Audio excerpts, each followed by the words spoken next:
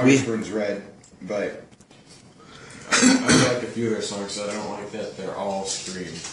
I don't like that. Yeah, I agree. get, can you give me my knife? Do we have a guest for Shabbat? Give me my knife. Do we have a guest somewhere for Shabbat, Zed? He's taking your bread. He's eating the whole bread right on the table. That's a bad thing. Where'd he go? funny. Stealing it. He's running off with it. He just took off. Just took off. You're supposed to eat whole bread, are they? That is silly.